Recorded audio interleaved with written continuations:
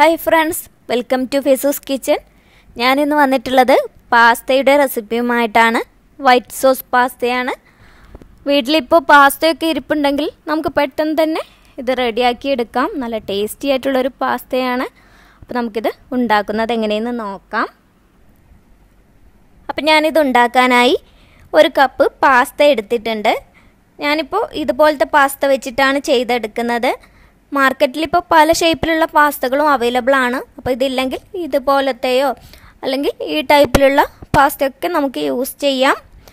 അപ്പോൾ ഏത് പാസ്ത വെച്ചിട്ടും നമുക്കിതുപോലെ ചെയ്തെടുക്കാം.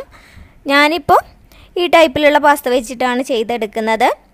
അപ്പോൾ ആദ്യം നമുക്ക് ഈ പാസ്ത ഒന്ന് വേവിച്ചെടുക്കണം. അപ്പോൾ അതിന് വേണ്ടി ഒരു പാൻ എടുത്തിട്ടുണ്ട്.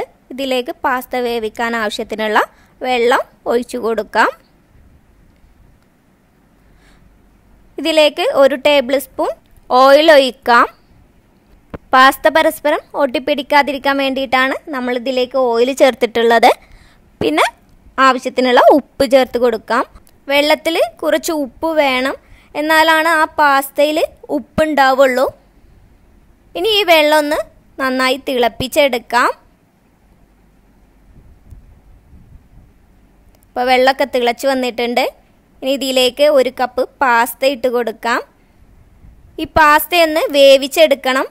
വേവിക്കുമ്പോൾ ഒരുപാടങ്ങ് വെന്ത് പോകരുത്. ചെറുതായി ഒന്ന് കടിക്കണ പരുവത്തിൽ വേണം നമുക്കിത് റെഡിയാക്കി എടുക്കാൻ. അപ്പോൾ അതിനനുസരിച്ച് വേവിക്കാം.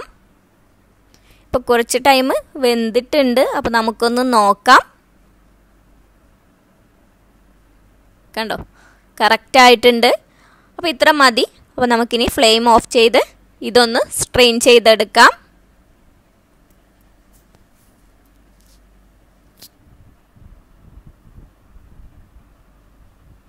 ഇനി നമുക്ക് പാസ്തയിലേക്കുള്ള വെജിറ്റബിൾസ് ഒന്ന് വേവിച്ചെടുക്കണം.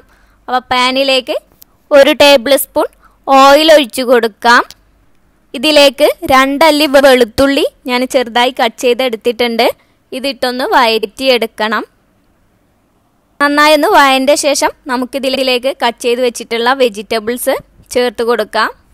കോണ് ക്യാരറ്റ് അതുപോലെ പച്ചയും ചുവപ്പും ക്യാപ്സിക്കം ഇതാണ് ഞാൻ എടുത്തിട്ടുള്ളത്.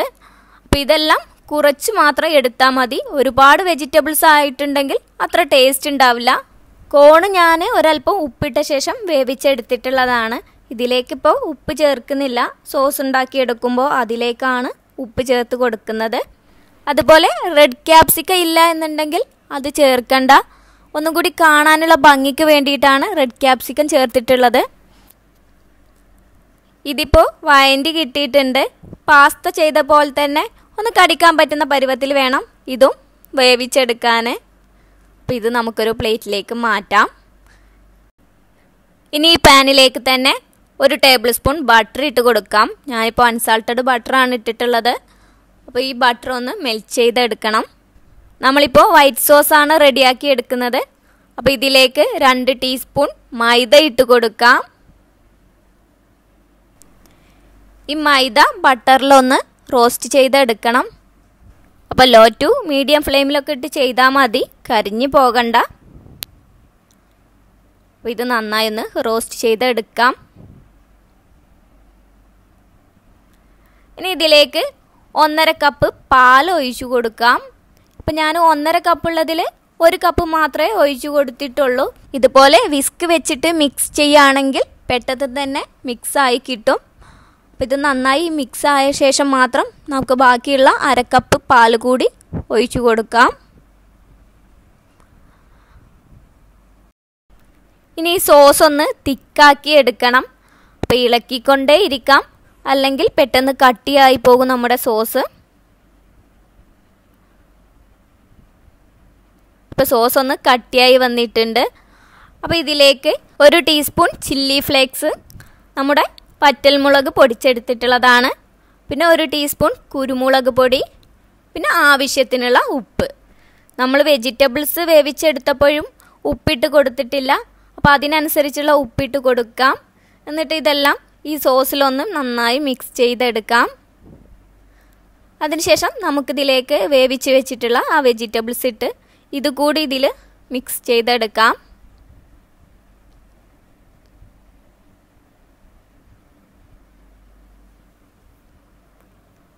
ഇനി നമ്മൾ വേവിച്ച് വെച്ചിട്ടുള്ള പാസ്ത ഇട്ട് കൊടുക്കാം.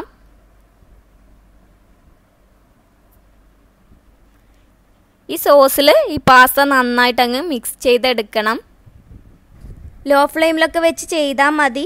അല്ലെങ്കിൽ സോസ് പെട്ടെന്ന് കട്ടിയായി പോകും. അതുപോലെ സോസ് നേരത്തെ ഉണ്ടാക്കി വെക്കുകയും ചെയ്യരുത്. ഇരിക്കും തോറും സോസ് കട്ടിയാകും. അപ്പോൾ ലാസ്റ്റ് സോസ് ഉണ്ടാക്കിയെടുത്താൽ മതി. ഇതിപ്പോൾ റെഡി ആയിട്ടുണ്ട്. അപ്പോൾ ഇനി അവസാനം ഞാനതിന് മുകളിലായിട്ട് ഒരല്പം ബേസിലിട്ട് കൊടുക്കുന്നുണ്ട്. ബേസിലില്ലെങ്കിൽ ഒന്ന് രണ്ട് തുളസിയില ഇട്ട് കൊടുത്താലും മതി. എന്റെ അടുത്തിപ്പോൾ തുളസിയില ഇല്ല. അതുകൊണ്ടാണ് ഞാൻ ബേസിലിട്ട് കൊടുക്കുന്നത്. പാസ്ത നമ്മൾ വാങ്ങിക്കുമ്പോൾ ആ തുളസിയിലയുടെ നല്ലൊരു ഫ്ലേവർ ഉണ്ടാകും. അപ്പം അതിന് വേണ്ടിയിട്ടാണ് ബേസിലിട്ട് കൊടുക്കുന്നത്. അപ്പോൾ ബേസിലില്ലെങ്കിൽ തുളസിയില ഇട്ട് കൊടുക്കാം. അപ്പോൾ ഇനി ഫ്ലെയിം ഓഫ് ചെയ്ത് നമുക്കിത് ചൂടോടെ തന്നെ സെർവ് ചെയ്യാം. പാസ്തയൊക്കെ ഉണ്ടാക്കുമ്പോൾ ഇതുപോലെ ചൂടോടെ തന്നെ നമുക്ക് സെർവ് ചെയ്യാം. അതാണ് ടേസ്റ്റ് കൂടുതൽ അല്ലെങ്കിൽ ആ സോസൊക്കെ ഒന്ന് കട്ടിയായിട്ടിരിക്കും. അപ്പോൾ ഇതുപോലെ ചൂടോടെ തന്നെ സെർവ് ചെയ്യുക അപ്പം നല്ല ടേസ്റ്റി ആയിട്ടുള്ള വൈറ്റ് സോസ് പാസ്തയാണ്. അപ്പം ഞാനിതൊന്ന് കഴിച്ചിട്ട് പറയാം.